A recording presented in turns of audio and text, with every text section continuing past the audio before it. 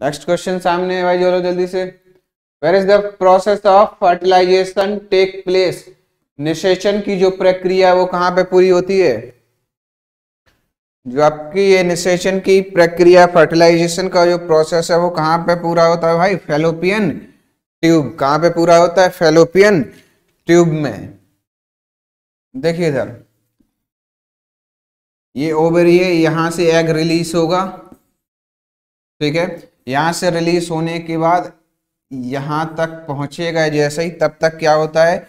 Sperm इस root से होते हुए आपका यहाँ तक पहुँच जाता है। ठीक है ना?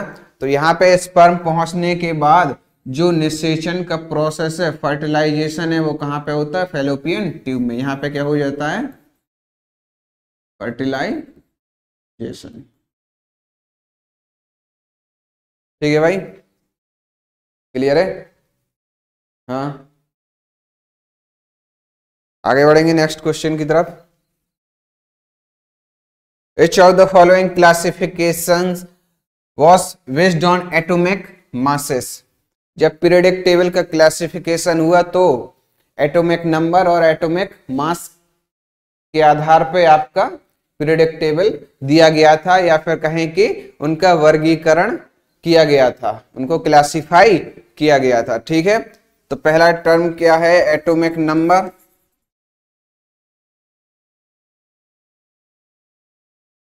एटॉमिक नंबर के आधार पर और एटॉमिक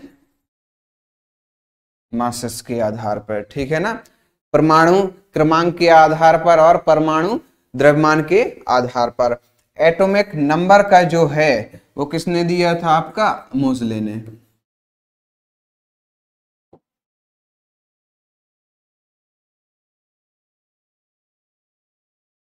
मोजले ने ठीक है? और जो आपका एटॉमिक मास है, वो किसने दिया था? मेंडलीव ने। परमाणु, द्रव्यमान मेंडलीव ने बताया था। ठीक है? तो अब यहाँ पे ऑप्शन देख लेंगे। पहला ऑप्शन क्या है भाई? डोवर्नियर न्यूलैंड एंड मोसले तो अपन किसकी बात कर रहे हैं? एटॉमिक मास की बात कर रहे हैं, यानी कि परमाणु। द्रव्यमान की बात कर रहे हैं, आप एटॉमिक मास की बात कर रहे हैं तो आपके ऑप्शन में मैंडलीव होना पड़ेगा ना। तो आपका पहले में तो मैंडलीव है नहीं तो ये ऑप्शन तो आपका हो नहीं सकता। दूसरे ऑप्शन में देखेंगे मैंडलीव तो है, लेकिन साथ साथ क्या है? मौजले भी है, और मौजले ने क्या दिया था? एटॉमिक नंबर यानी कि परमाणु क्रमांक। तो ये ऑप्शन भी नहीं हो सकता। तीसरा ऑप्शन देखेंगे तीसरे ऑप्शन में सिर्फ़ मैंडलीव है। और मौजले नहीं है मतलब ये ऑप्शन हो सकता है। चौथा ऑप्शन देखेंगे इसमें। मौजले भी है मैंडली भी है मतलब ये चौथा ऑप्शन भी नहीं हो सकता। तो सीधी सी बात है, क्या हो जाएगा भाई? आपका ये सी ऑप्शन यानी कि तीसरा ऑप्शन आपका इसका करेक्ट आंसर हो जाएगा। ठीक है ना? तीसरा ऑप्शन क्या हो जाएगा भाई? करेक्ट आंसर हो जाएगा। क्यों? क्योंकि मैंडलीव ने ही क्या दिया था आपका? परमाणु क्रमांक का सॉरी परमाणु द्रव्यमान पर आधारित वर्गीकरण किया था आपका। ठीक है ना? Next question to increase the corrosion resistance of steel it is added है ना? यानी कि स्टील के संचारण प्रतिरोध को बढ़ाने के लिए इसमें से जो धातु जोड़ी जाती है, वो कौन सी जोड़ी जाती है? क्या करने के लिए भाई? संचारण का प्रतिरोध। संचारण प्रतिरोध बढ़ाने के लिए क्या जोड़ा जाता है इसमें? स्टील में क्या जोड़ा जाता है भाई? क्रोमियम जोड़ा जाता है। है ना? स्टील के साथ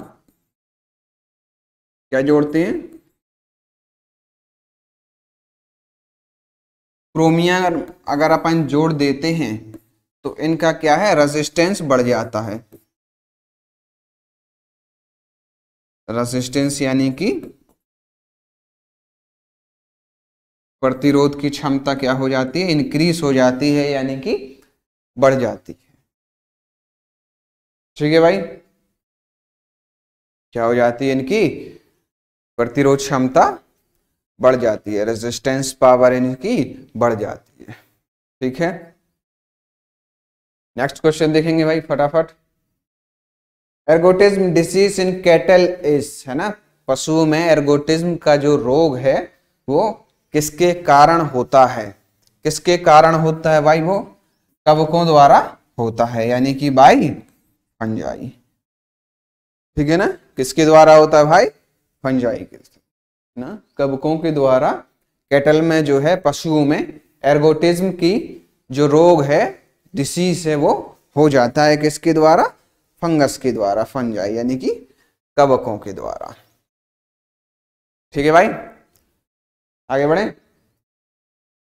देखिए next question which of the following is not vertebrate organism इनमें से कौन सा बर्टिब्रेट ऑर्गेनिज्म नहीं है? अब बर्टिब्रेट और इनवर्टिब्रेट में आपको अंतर पता होना चाहिए।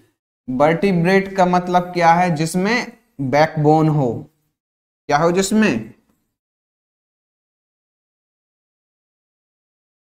बैकबोन उपलब्ध हो या फिर उपस्थित हो, यानी कि वो ऐसे ऑर्गेनिज्म जिसमें क्या हो भाई? रीढ़ की हड्डी पाई जाती हो। ठीक है ना? तो इसमें फ्रॉग में भी रीढ़ की हड्डी होती है। फ़िश में भी रीढ़ की हड्डी होती है और लिजार्ड में भी क्या होती है? रीढ़ की हड्डी होती है है ना? तो इसमें से अपन क्या देखना है? जिसमें रीढ़ की हड्डी ना पाई जाती है तो आपके अर्थ वॉर्म केचुआ, आपका राइट ऑप्शन हो जाएगा करेक्ट आंसर हो जाएगा। क्यों? क्योंकि इसमें रीढ़ की हड्डी नहीं पाई जाती है आपके किसमें अर्थवॉर्म में। केचुए में आपकी रीढ़ की हड्डी नहीं पाई जाती है। ठीक है भाई? आगे बढ़े। हाँ। बिल्कुल। ठीक है भाई। लिजार्ड में भी होती है स्नेक्स में भी होती है। है ना, आपके जो सांप होते हैं, सर्फ होते हैं, उसमें भी क्या होती है? बैकबोन होती है, उसमें क्या होती है? बैकबोन होती है।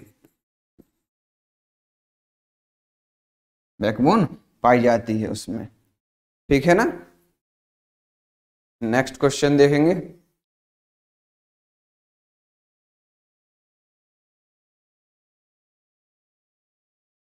Vertebrates, animal with backbones. Invertebrates animal without backbones. ठीक है? देखो भाई next question identify the part of the brain that controls the maintenance of posture balance and equilibrium मस्तिष्क के उस हिस्से की पहचान करें जो मुद्रा संतुलन और संतुलन के रख, रखाव को नियंत्रित करता है। तो भाई, जहाँ पे भी बैलेंस की बात आ जाती है, जहाँ पे भी पोस्चर बैलेंस की बात आ जाती है तो आपको पता होना चाहिए क्या? कि वहाँ पे सेरिबेलम।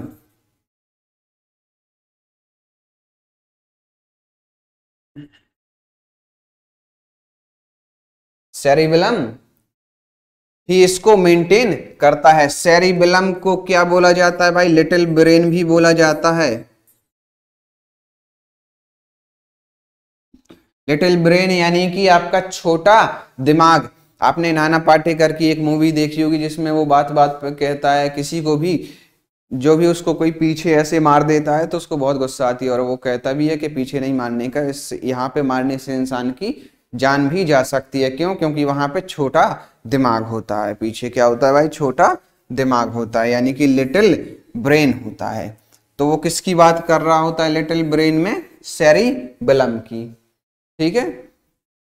तो यहाँ पे आपका कौन सा है? हाँ फोर्थ ऑप्शन करेक्ट हो जाएगा। कौन सा ऑप्शन करेक्ट हो जाएगा भाई? फोर्थ ऑप्शन करेक्ट हो जाएगा। ठीक है ना?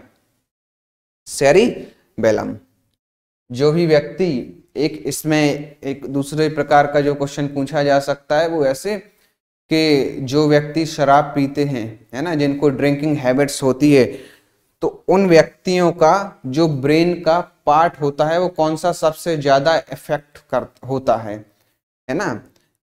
मस्तिष्क के कौन से हिस्से पे सबसे ज़्यादा प्रभाव पड़ता है शराब पीने के कारण, ठीक है? तो आपने देखा होगा, जो व्यक्ति जिनको ड्रिंकिंग हैबिट्स होती है, जो पिए हुए होते हैं, वो चलने में यहाँ वहाँ लड़खड़ाते हुए चलते हैं।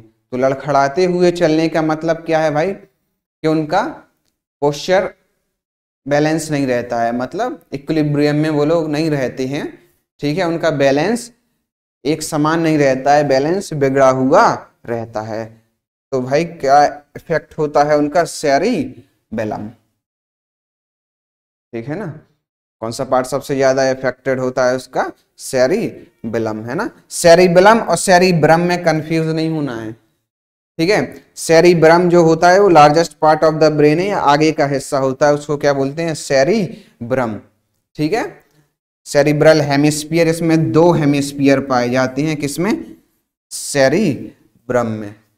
ठीक है? लेकिन यहाँ पे जो रिस्पॉन्सिबल है पोस्चर बैलेंस एंड इक्विलिब्रियम के लिए वो कौन सा पार्ट है? सैरी बेलम पार्ट है, पीछे वाला पार्ट है, जिसको क्या बोलते हैं? लिटिल ब्रेन बोलते हैं, यानी कि छोटा दिमाग का हिस्सा बोलते हैं। ठीक है ना? सैरी बेलम क्या करता है वो? Coordinates movement control posture balance fine motor movements and involve in motor learning ठीक है ना? ठीक है? ये तो किसकी बात कर रहे थे अपन? ये पीछे वाला हिस्सा जो है ये सैरी बिलम की। अब ये जो आगे वाला हिस्सा है जिसको क्या बोलते हैं? सैरी ब्रम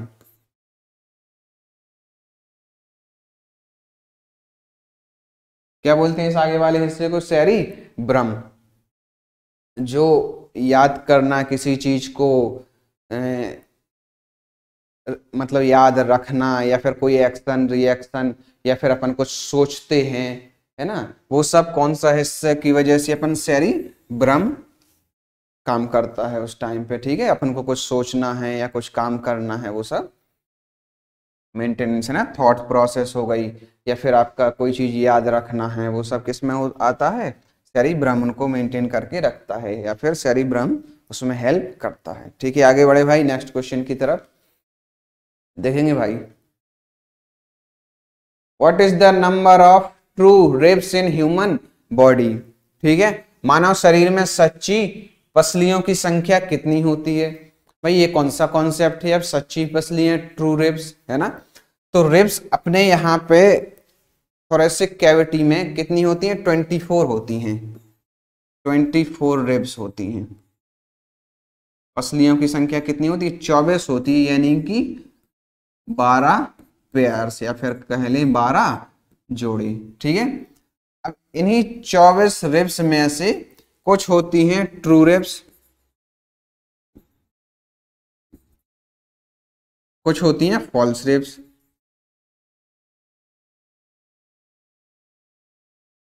ठीक है, अब ट्रू रिब्स और फॉल्स रिब्स किस आधार पे कहा जाता है?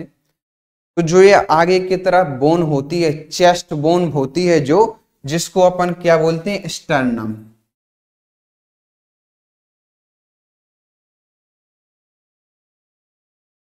जिसको क्या बोलते हैं अपन? स्टर्नम ठीक है? तो जो पसलियाँ, जो रिब्स स्टर्नम से डायरेक्टली यानी कि सीधे सीधे अटैच होती हैं, सीधे सीधे जुड़ी हुई होती हैं, उनको क्या बोलते हैं अपन? ट्रू रिब्स बोलते हैं। ठीक है?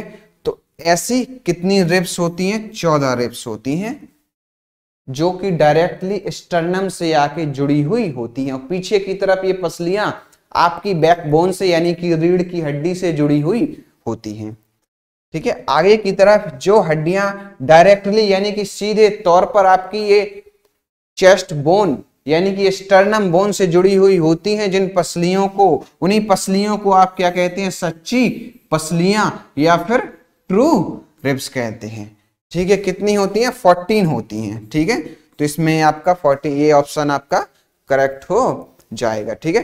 टोटल नंबर ऑफ़ रिब्स पूछेंगे तो कितनी होती हैं? चौबीस पसलियाँ होती हैं, बारह जोड़े, ठीक है ना?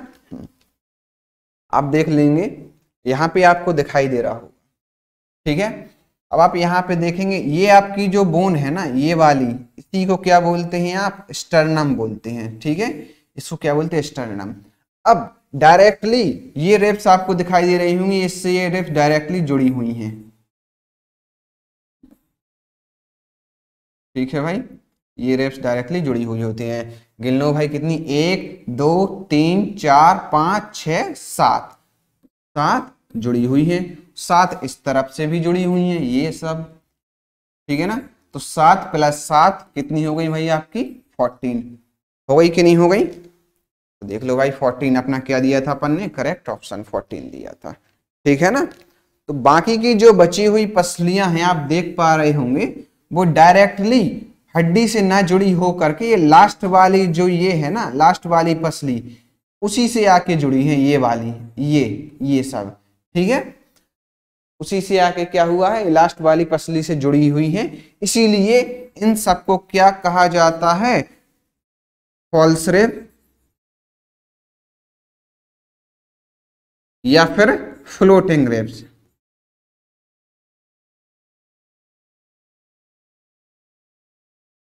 या कहा जाता है भाई फ्लोटिंग रिब्स कहा जाता है। ठीक है ना?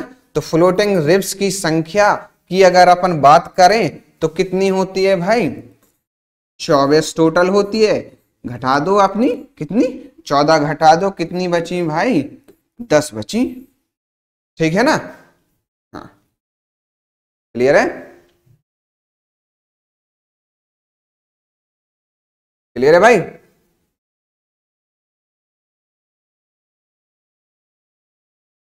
आगे बढ़े।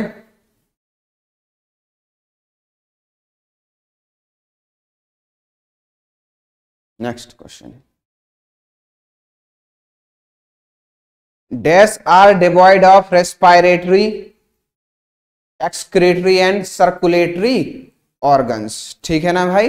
श्वासन, उत्सर्जन और संचार अंगों से रहित क्या है इसमें से? स्पंज। क्या है भाई? स्पंज। स्पंज किस कैटेगरी को बिलोंग करता है? पॉरीफेरा पॉरीफेरा को बिलोंग करता है क्या? स्पंज। इसमें क्या होता है? होल्स होते हैं। छोटे छोटे से छेद पाए जाते हैं। ठीक है? पूरी बॉडी में स्पंज में क्या होता है? छोटे छोटे से होल्स पाए जाते हैं छोटे छोटे से छेद पाए जाते हैं। ठीक है? उन्हीं के बीच से पानी निकलता रहता है, गुजरता रहता है, ठीक है? ना तो इसमें ब्लड होता है ब्लड नहीं पाया जाता है, ना ही इसमें कोई ऑर्गन्स पाए जाते हैं, ठीक है? इसमें कुछ नहीं पाया जाता है। पानी के थ्रू ही जो भी खाना पीना इनको लगता है, वो पानी के थ्रू ही जाता रहता है और उसी पानी में डिजोल्व रहती है क्या? ऑक्सीजन तो वो रेस्पायरेशन में ब्रीदिंग में भी हेल्प करती है, ठीक है? डिफ्यूजन के थ्रू इनका ब्रीदिंग सिस्टम, श्वासन तंत्र भी काम करता रहता है या फिर चलता रहता है। ठीक है ना? तो इसका करेक्ट ऑप्शन क्या हो जाएगा आपका? स्पंज। ठीक है?